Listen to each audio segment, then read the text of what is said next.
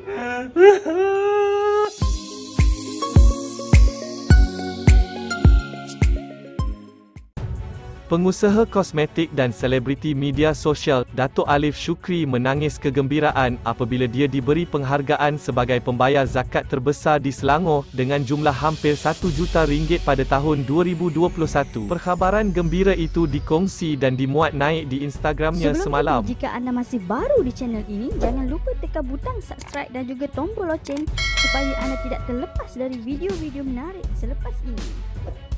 Hari indah buat saya dan isteri. Syukur hari ini Zakat Selangor beri penghargaan kepada kami sebagai antara pembayar zakat terbesar di Selangor dengan jumlah hampir 1 juta ringgit pada tahun 2021 hasil bisnes. Dulu masa saya mula berniaga 15 tahun lepas, saya hanya mampu bayar 7 ringgit zakat setiap bulan tetapi saya selalu tanamkan azam nak bayar lebih dan ia menjadi satu semangat untuk saya kerja keras. Terima kasih doa ibu kandung saya dan isteri katanya. Dalam pada itu, Alif turut meminta pengikutnya supaya mendoakan agar dia sentiasa sukses dalam kejayaan dan terus dapat membantu mereka yang memerlukan. Alhamdulillah hari ini jadi kenyataan. Tidaklah hebat nak banding dengan mereka yang jauh lebih berjaya, tapi saya mohon anda doakan saya sentiasa berjaya dalam perniagaan dan dapat memberi lebih banyak bantuan pada mereka yang memerlukan, katanya lagi. Meninjau ruangan komen, ramai yang mengucapkan tahniah termasuk ibunya, Rosita Ibrahim dalam masa yang sama, usahawan Nur Sajat turut menitipkan ucapan tahniah kepada Alif Syukri, so proud of my mentor, tulisnya Sajat.